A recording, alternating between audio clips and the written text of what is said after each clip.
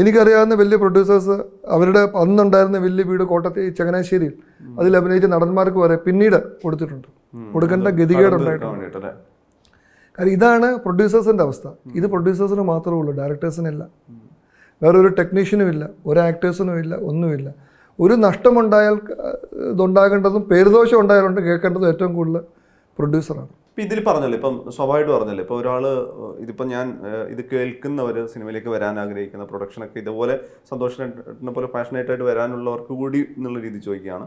ഇപ്പോൾ ഒരു അഞ്ച് കോടിയിൽ നമ്മൾ പ്ലാൻ ചെയ്ത സിനിമ എന്ന് പറയുമ്പോൾ ഓക്കെ അതിലൊരു ബജറ്റ് മേളിലേക്ക് കൂടുന്നത് സ്വാഭാവികമാണ്. പക്ഷേ അഞ്ച് കോടി സിനിമ അഞ്ച് കോടി പ്ലാൻ ചെയ്ത് പാക്ക് ചെയ്തൊരു സിനിമ പത്ത് കോടിയിലാവുക എന്ന് പറയുന്ന സ്ഥലത്ത് അതിലൊരു അത് സ്വാഭാവികമായിട്ട് ഒരു അതിലൊരു സ്വാഭാവികത ഇല്ലല്ലോ അങ്ങനെ സംഭവിക്കുന്നത്. അപ്പോൾ അത് അത് അത്തരം അത് കൂടി ഈ പറയുന്ന ഒരുപക്ഷെ ആ സിനിമ സക്സസ് ആയതുകൊണ്ട് അത് ഓക്കെയാണ് അത് ഒരേ സമയം തന്നെ വലിയ സമ്മർദ്ദം ഉണ്ടാക്കുന്ന വലിയ പ്രശ്നം ഉണ്ടാകുന്ന ഒരു ഏരിയയായി മാറില്ലേ? ഈ പറയുന്ന പ്ലാൻ ചെയ്ത ബജറ്റിൽ നിന്ന് നേരെ ഇരട്ടിയിലേക്കോ അല്ലെങ്കിൽ ഒരു നിലയ്ക്കും തിയേറ്ററിൽ നിന്ന് ചിലപ്പോൾ തിരിച്ചു പിടിക്കാൻ പറ്റുന്ന പറ്റാത്ത സാഹചര്യം വരെ ഉണ്ടാവില്ലേ ഇങ്ങനെ വരുമ്പോഴേ?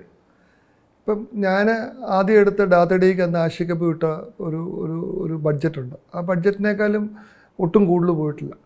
മായനദി എന്ന് പറയുന്ന സിനിമ ഞങ്ങൾ എടുക്കാനിട്ടു പക്ഷെ അതിന് ഒത്തിരി ലൊക്കേഷൻ ഷിഫ്റ്റ് ഉണ്ടായിരുന്നു. ആ സിനിമയ്ക്ക് ഏകദേശം ട്വന്റി പെർസെന്റ് ബഡ്ജറ്റ് കൂടി. ട്വന്റി പെർസെന്റ് ഒക്കെ നമുക്ക് അംഗീകരിക്കാവുന്ന ബഡ്ജറ്റ് കൂടുന്നതാണ്.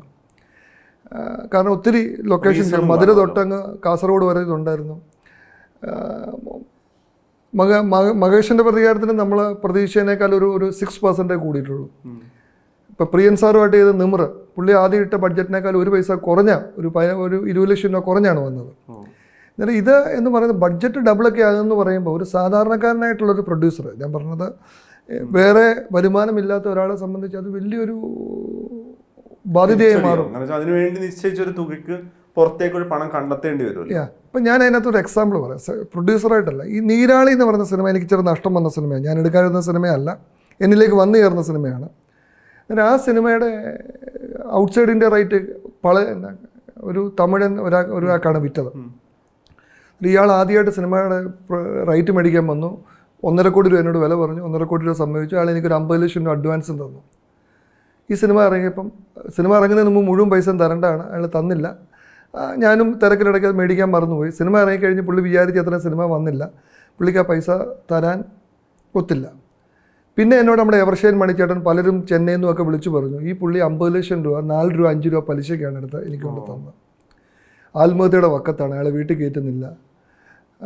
എന്നിട്ട് ഞാൻ ചിന്തിച്ചു കോവിഡ് സമയത്ത് പുള്ളി എന്നെ വിളിച്ചിട്ട് ചോദിച്ചു ഞാൻ ആത്മഹത്യ ചെയ്യാൻ പോവാണ് എനിക്കിനി പൈസ തരാനില്ല. എന്നിട്ട് ആ സമയത്തൊക്കെ ഒരു കോടി ഞങ്ങളുടെ ഞങ്ങളുടെ എഗ്രിമെന്റ് എല്ലാം കഴിഞ്ഞു. കഴിഞ്ഞു.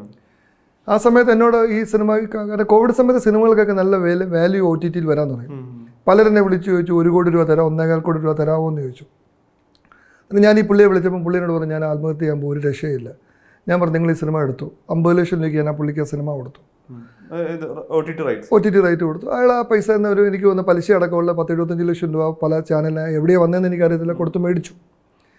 നേരം ഞാൻ പറഞ്ഞത് ഇതേ ഉള്ളൂ ഈ സിനിമ ആ അമ്പത് ലക്ഷം രൂപ മേടി മേടിച്ച ആൾ എന്നോട് പറഞ്ഞ് ഞാൻ ആത്മഹത്യ ചെയ്യാൻ പോകുന്നതാണ് പറഞ്ഞു നേരം ഒരു അഞ്ച് കോടി രൂപയുടെ സിനിമ പത്ത് കോടി ആകുമ്പം ഇത് ഉണ്ടാക്കാൻ ഒക്കാത്ത ഒരാൾക്ക് അല്ലെങ്കിൽ ആ സിനിമ പുറത്തിറങ്ങുമ്പോൾ അതിൽ നിന്ന് വന്നില്ലെങ്കിൽ അദ്ദേഹത്തിന് ഉണ്ടാകുന്ന നഷ്ടം ചെറുതല്ല. അതെന്ന് വെച്ചാൽ അദ്ദേഹം ഞാൻ പറയാം ആത്മഹത്യ അങ്ങനെയുള്ള പല കാര്യങ്ങൾ നടക്കാം. കാരണം നമുക്ക് ഇപ്പം തന്നെ പല എക്സാമ്പിൾസ് ഉണ്ട് പല പ്രൊഡ്യൂസേഴ്സും ഒരു ഗതിയില്ലായിരിക്കുന്ന എന്തുമാത്രം പ്രൊഡ്യൂ പേരെടുത്ത് പറയാത്തതിന് കാരണം എനിക്കറിയാവുന്ന വലിയ പ്രൊഡ്യൂസേഴ്സ് അവരുടെ അന്നുണ്ടായിരുന്ന വലിയ വീട് കോട്ടത്തെ ചങ്ങനാശ്ശേരിയിൽ അതിൽ അഭിനയിച്ച നടന്മാർക്ക് വരെ പിന്നീട് കൊടുത്തിട്ടുണ്ട്. കൊടുക്കേണ്ട ഗതികേടുണ്ടായിട്ടുണ്ട് കാരണം ഇതാണ് പ്രൊഡ്യൂസേഴ്സിന്റെ അവസ്ഥ. ഇത് പ്രൊഡ്യൂസേഴ്സിന് മാത്രമേ ഉള്ളൂ ഡയറക്ടേഴ്സിനില്ല വേറെ ഒരു ടെക്നീഷ്യനും ഇല്ല ഒരു ആക്ടേഴ്സിനും ഇല്ല ഒന്നുമില്ല. ഒരു നഷ്ടമുണ്ടായാൽ ഇതുണ്ടാകേണ്ടതും പേരുദോഷം ഉണ്ടായാലുണ്ട് കേൾക്കേണ്ടതും ഏറ്റവും കൂടുതൽ പ്രൊഡ്യൂസറാണ് പിന്നെ അവരെ ശരിക്കും തീർച്ചയായിട്ടും അവരെ ലൈംലൈറ്റിൽ കൊണ്ടുവരേണ്ടത് ആവശ്യമാണെന്നാണ് എന്റെ വ്യക്തിപരമായിട്ടുള്ള അഭിപ്രായം. ഇപ്പൊ ഇതോടൊപ്പം തന്നെ പറയുകയാണെങ്കിൽ ഇപ്പം നൂറ്റി ഇരുപതിൽ കൂടുതൽ സിനിമ ഓൾറെഡി വന്നു. അപ്പോൾ കഴിഞ്ഞ വർഷം നോക്കുവാണെങ്കിൽ നൂറ്റമ്പതിന് ഇരുന്നൂറിന് ഇടയിലൊക്കെയാണ് സിനിമ വരുന്നത്. ഇരുന്നൂറ് സിനിമയാണ് കഴിഞ്ഞ വർഷം വരുന്നത്. ഇപ്പോൾ ഇത് ആറുമാസം പിന്നിടുമ്പോൾ തന്നെ ഏതാണ്ട് നൂറ്റി ഇരുപത് അപ്പോൾ ഇരുന്നൂറിൽ കൂടുതലൊക്കെ ഈ വർഷം പോകും. ഇപ്പം നൂറ്റി ഇരുപത് സിനിമ എന്ന് പറയുമ്പോൾ നമ്മളൊരു വെറുതെ മിനിമം ഒരു പിന്നെ മൂന്ന് കോടി രൂപയാണ് ഏറ്റവും കുറഞ്ഞ ബജറ്റ് കണക്കാക്കിയാൽ ഒരു മൂന്ന് കോടിക്കും പത്ത് കോടിക്കും ഇടയിലാണുള്ളത്. ഒരു ഇൻഡസ്ട്രി ഒരു വലിയ എത്രയോ പിന്നെ കോടി രൂപ വലിയ നഷ്ടം നേരിടുന്ന സാഹചര്യമാണല്ലോ. അപ്പം ആറ് മാസം ഏഴ് മാസത്തിലെത്തുമ്പോൾ നൂറ്റി ഇരുപത്തിയെട്ട് സിനിമകൾ വരുന്നൊരു ഇൻഡസ്ട്രി. അപ്പോൾ ഒരു വർഷത്തിൽ ഇരുന്നൂറിൽ കൂടുതൽ വരുന്ന ഇൻഡസ്ട്രി. അതിൽ തൊണ്ണൂറ്റി അഞ്ച് ശതമാനം നഷ്ടം വരുന്നൊരു സംഗതി എന്ന് പറയുന്നു എന്നിട്ടും ഓരോ വർഷം ഓരോ മാസവും അഞ്ചിൽ കൂടുതൽ സിനിമ റിലീസ് ചെയ്യാൻ തക്കതായ പ്രൊഡ്യൂസേഴ്സ് വരുന്നുണ്ട് ഇൻഡസ്ട്രിയിൽ വരുന്നത്. ശരിക്കും ഈ തൊണ്ണൂറ്റഞ്ച് ശതമാനം നഷ്ടം ഉണ്ടാവുന്ന ഒരു സെക്ടർ വ്യവസായം. അതിന്റെ നിലനിൽപ്പ് എങ്ങനെയാണ്? എങ്ങനെയാണ് ആളുകൾ വീണ്ടും വീണ്ടും പ്രൊഡ്യൂസ് ചെയ്യാൻ തയ്യാറാ- തയ്യാറാവുന്നത്? ഇത് ഇതൊരു മാസ്മര. ലോകമാണ്. ഈ സിനിമാ ഫീൽഡ് എന്ന് പറയുന്ന ഒരു മാസ്മര. ശരിക്കും പറഞ്ഞാൽ പ്രൊഡ്യൂസർ അസോസിയേഷൻ എനിക്ക് തോന്നുന്നത് പുതിയതായിട്ട് വരുന്ന പ്രൊഡ്യൂസേഴ്സിനോട് ഇങ്ങനെ എല്ലാം പറയാറുണ്ട്. നഷ്ടം വരുന്ന കഥകളൊക്കെ പറയാറുണ്ട്. അങ്ങനെ ഒരു ഇതുണ്ട്. പക്ഷേ ഇതുപോലും കേൾക്കാൻ ആൾക്കാർ തയ്യാറല്ല. ഇപ്പം എന്റെ അടുത്ത് തന്നെ എന്തുമാത്രം ആൾക്കാർ വരാറുണ്ട്? സിനിമ എടുക്കണം. പൈസ മുഴുവൻ മുടക്കാം. വെറുതെ പേര് പ്രൊഡ്യൂസറായിട്ട് വെച്ചാൽ മതി. ആ പുള്ളിയുടെ പേരും കൂടെ വെക്കണം. ഞാൻ ഒരിക്കലും പ്രൊമോട്ട് ചെയ്യാറില്ല. കാരണം ഈ നഷ്ടമായേക്കുണ്ടായാലും എനിക്കുണ്ടായാലും ഇതൊരു ഒരു ഒരു സാമ്പത്തിക ബാധ്യതയാണ്. കാര്യം മിച്ചമുള്ളവർ ആരും ആരും പൈസ മിച്ചം ഉണ്ടായിട്ടൊന്നും വരുന്നവരല്ല പലരും. വലിയ ഡോക്ടേഴ്സ് വലിയ എഞ്ചിനീയേഴ്സ് വലിയ ചാർട്ടേഡ് അക്കൗണ്ടൻസ് ഇങ്ങനെയുള്ളവരാണ് കൂടുതലും ഇതിലേക്ക് വരുന്നത്. അവർക്കൊന്നും കണക്കറിയാഞ്ഞിട്ടല്ലല്ലോ.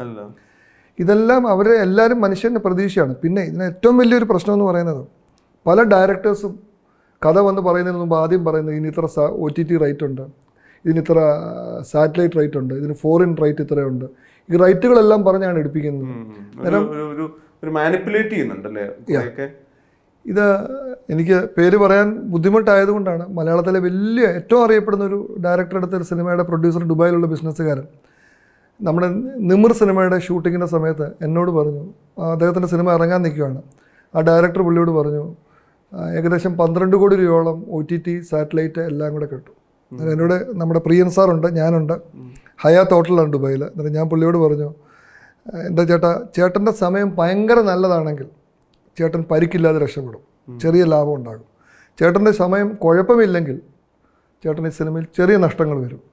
ചേട്ടന്റെ സമയം മോശമാണെങ്കിൽ ചേട്ടൻ മുടക്കിയ മുഴുവൻ പൈസയും പോകും. ആ പറഞ്ഞ പോലെ ആ സിനിമയിൽ പുള്ളി മുടക്കിയത് എങ്ങോട്ട് പതിനാല് കോടി രൂപയാണ്.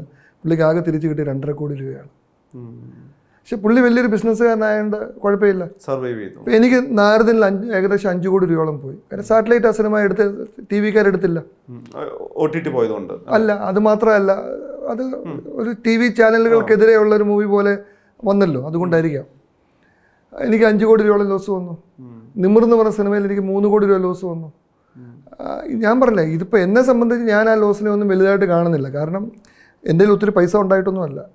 എനിക്ക് അടുത്ത സിനിമകളിൽ നിന്ന് അതുപോലെ പൈസ ഉണ്ടായിട്ടുമുണ്ട് നല്ല സിനിമകൾ എടുക്കണം എക്സ്പെരിമെന്റൽ സിനിമകൾ എടുക്കണം ഇൻഡസ്ട്രിയിൽ ഒരു മാറ്റങ്ങൾ ഉണ്ടാക്കണം എന്നുള്ള താല്പര്യം ഉള്ളത് കൊണ്ടാണ് ഞാൻ അങ്ങനെ. പക്ഷെ അതല്ല ബാക്കിയുള്ള ആൾക്കാർ പലരെ വെച്ച് നോക്കുമ്പോൾ സിനിമയുടെ തൊണ്ണൂറ് ശതമാനം തീർന്നിട്ട് പത്ത് ശതമാനത്തിന് വേണ്ടി പൈസയ്ക്ക് വരുന്ന ആൾക്കാരുണ്ട്.